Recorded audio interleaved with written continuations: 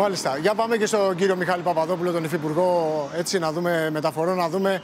Κύριε Παπαδόπουλο, δώστε μας λίγο τα φώτα σας όσο βλέπουμε την εικόνα από τον Γιώργο Πρωτοψάλτη. Τι ακριβώς ισχύει τώρα, βοηθήστε μας. Καλή σας μέρα. Καλημέρα. καταρχήν. Καλημέρα. Καλή σας μέρα από την παγωμένη Πτολεμαΐδα. Α, ωραία. Αλυσίδες έχετε βάλει εκεί; Εμείς ε- εδώ χρησιμοποιούμε χιονολάστιχα. Α, χιονολάστιχα. Γιατί σας θυμίζω ότι η απόφαση λέει ότι χρησιμοποιείς ή αντιολιστικούς τρόπους όπως είναι οι αλυσίδες ή Μάλιστα. χιονολάστιχα. Εδώ Μάλιστα. στην ε, Βόρεια Ελλάδα οι περισσότερες οικογένειες ανεξαρτήτως των οικονομικών δυνατοτήτων που έχουν, έχουν μια τετράδα χιονολάστιχα. Που είναι εξαιρετική η απόδοσή τους και ίσως λίγο καλύτερη από τις αλυσίδες, θα θέλω να πω. Τι Για- έχουμε κάνει λοιπόν; Θεωρώ ότι πρώτη φορά η πολιτεία είναι οργανωμένη, έτοιμη να αντιμετωπίσει το φαινόμενο της κακοκαιρίας με τα χιόνια. Καθίστε λίγο να ξεκαθαρίσουμε κάτι. Έχουμε ακούσει, ας πούμε, για παράδειγμα, τώρα από τους ελέγχους που γίνονται, τον άδρα τη τροχέα να λέει, να κάνει μία σύσταση στους οδηγούς και να τους λέει ότι πρέπει να ξέρετε ότι μέχρι τον Απρίλιο πρέπει να έχετε στο πόρτ μπαγκάζ ένα κουτί με αλυσίδες. Καταρχήν, επειδή ακούω συνέχεια για πρόστιμα και πρόστιμα. Η αλήθεια είναι ότι αυτό το οποίο ισχύει είναι ότι από τον Οκτώβριο μέχρι τον Απρίλιο είναι καλό να έχουμε τις αλυσίδες μας Μάλιστα. στο αυτοκίνητό μας.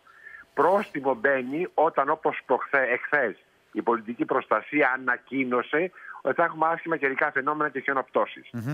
Αλλά το πρόστιμο δεν είναι η ουσία. Η ουσία είναι ότι είναι μια προστασία, είναι η οδική ασφάλεια, προστατεύουμε τη ζωή μας, τη ζωή των πεζών και τη ζωή των Καλά, αυτό δεν το υπόλοιπων συζητάμε. Φυσικά έτσι είναι. Εννοείται αυτό. και Αλλήμον. οι συστάσεις που έχουμε συνεννοηθεί και κάνει η Τροχέα, μέσα με το Υπουργείο Προστασίας του Πολίτη, πριν από ε, λίγα λεπτά μίλησα και με τον Υφυπουργό, τον Ελευθέρη τον Οικονόμου, είναι η Τροχέα να κάνει συστάσεις και να υπενθυμίζει στους οδηγούς ότι πρέπει να έχει τις αλυσίδες μαζί τους.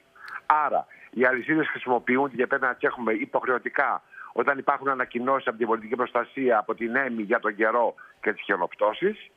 Ναι. Καλό θα είναι, γιατί δεν έχουν και βάρος ιδιαίτερο, να υπάρχουν στο αυτοκίνητο από τον Οκτώβριο μέχρι τον Απρίλιο. Αυτή είναι η αλήθεια, αυτή είναι η απόφαση που έβγαλα πέρσι και νομίζω ότι είμαστε πλήρως προετοιμασμένοι και οι περιφέρειες και οι Δήμοι και η Πολιτεία για να αντιμετωπίσουμε οποιοδήποτε καιρικό φαινόμενο και αν έρθει. Μάλιστα. Αρκεί να είμαστε όλοι προσεκτικοί, ε, να μην γίνονται μετακινήσεις άσκοπες και να έχουμε εφοδιασμένο το αυτοκίνητό μας ή με χιονολάστιχα ή με αλυσίδες ή με άλλους τρόπους. Ωραία, Υπουργέ μου, ωραία. Άρα λοιπόν, ανακεφαλαιώνοντας, ή χιονολάστιχα, ή χιονοκουβέρτες, ή αλυσίδες, καλό θα είναι να τι έχουμε. Τώρα, εγώ θα ήθελα να σας ρωτήσω αν και εσείς, σαν κράτος, εμείς θα είμαστε καλά παιδιά, σαν πολίτες και σαν.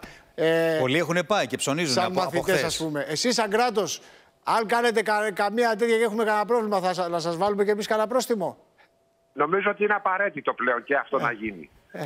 Και τα πρόστιμα αυτά ξέρετε πότε εξοφλούνται στις εκλογές. Έτσι. Α, καλά το είπατε τώρα. Μια χαρά το είπατε. λοιπόν, ευχαριστούμε πάρα πολύ. Να Ευχαριστούμε. είστε καλά.